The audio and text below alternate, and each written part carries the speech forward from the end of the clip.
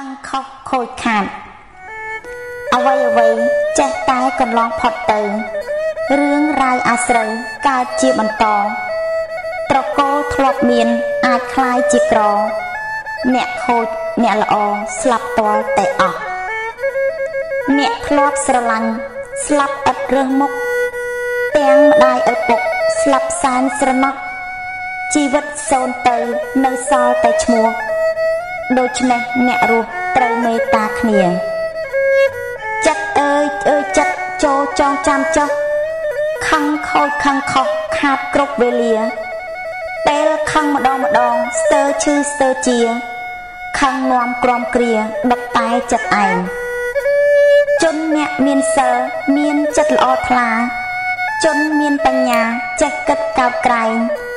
បើខឹងម្ដងម្ដងឈឺតែខ្លួនឯង ខឹងនាំចំបែងគួរពិចារណា